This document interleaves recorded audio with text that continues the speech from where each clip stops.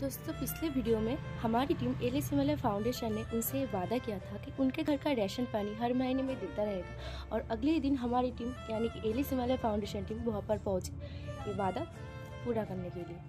तो देखते हैं ये सारी सामान पा के उनका रिएक्शन क्या होती है।